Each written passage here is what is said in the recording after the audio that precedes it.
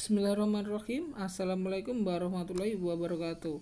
Nah tutorial kali ini saya akan membuat micro jig alias cinemate ya teman-teman. Langsung saja siapkan bahannya.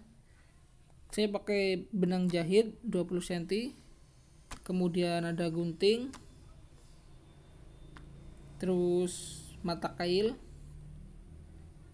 Ini mata kailnya. Bulu warna putih. Saya pakai yang warna putih.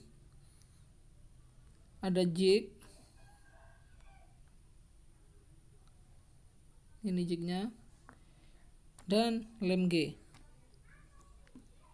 Nah langsung saja kita bikin teman-teman. Kita ambil mata kailnya dulu. Dan kemudian kita ambil bulu kemudian tempel keduanya seperti ini teman-teman. Nah seperti ini. Setelah itu ambil benang. Setelah itu ambil benang jahit ya. Kita kaitkan seperti ini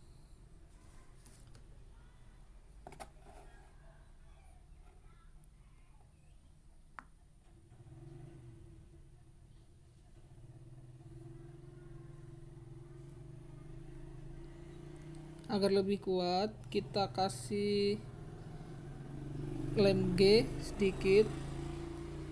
Setelah itu kita tunggu sebentar ya. Nah saya kasih lem G dulu. Kemudian kita tunggu sebentar.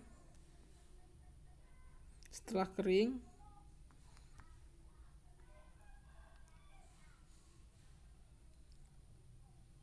Setelah kering seperti, seperti ini, kita tali teman-teman. Kita tali dulu.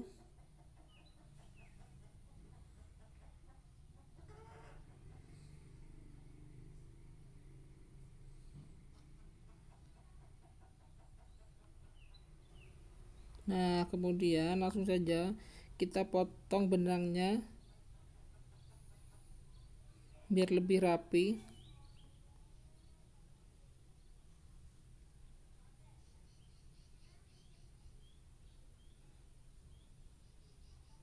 Nah, terus jangan lupa rapikan juga ujung mentakel yang ada bulunya ya. Kita rapikan. Kita potong. Nah, dan jadinya akan seperti ini teman-teman. Dan ini ada satu lagi mata kail yang sudah jadi supaya biar cepat kita membuatnya langsung saja. Kita pasang teman-teman. Tali. Pakai benang PE ya kurang lebih 20 cm kemudian kita tali mata kailnya dengan benang PE seperti ini.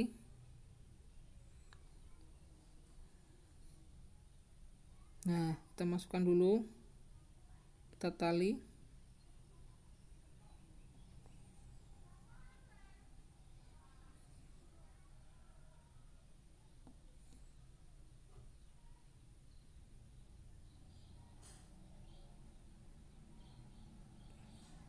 kita tali tiga kali teman-teman biar kuat.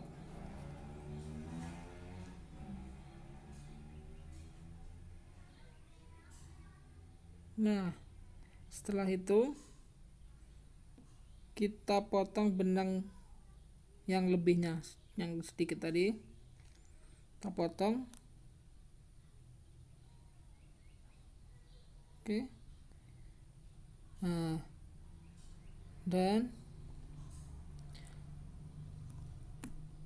kita ambil micro jignya. Kita masukkan benangnya ke lubang pada jig.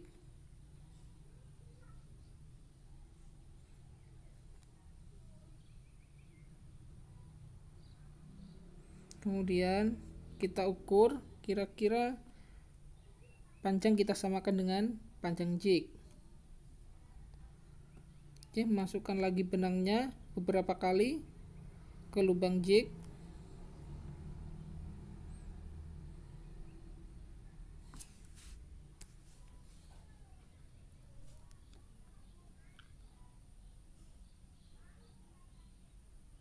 Nah, setelah itu kita kasih sedikit lem biar nggak lepas ya teman-teman.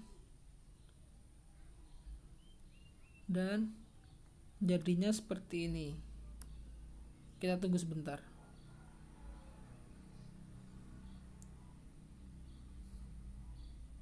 Nah jadinya seperti ini. Dia tidak akan lepas. Kemudian ambil satu lagi mata kail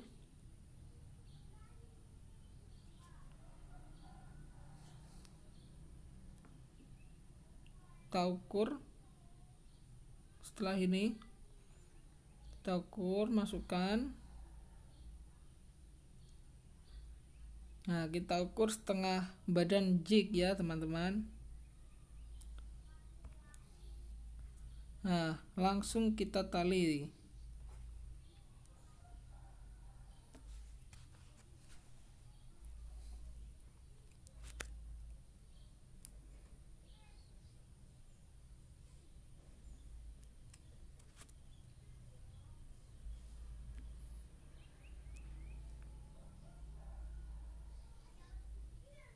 Nah, kita tali dulu teman-teman.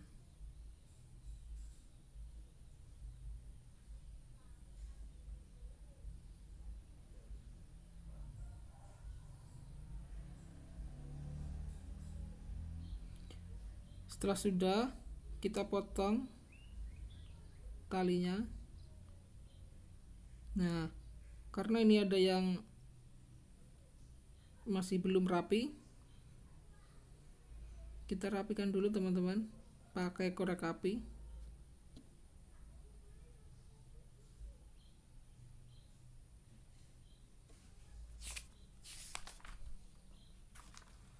Nah.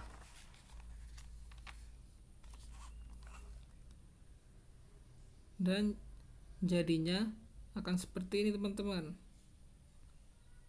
Nah, jika belum mengerti apa saja bahannya, saya sudah tulis di deskripsi ya teman-teman, tinggal cari saja deskripsinya.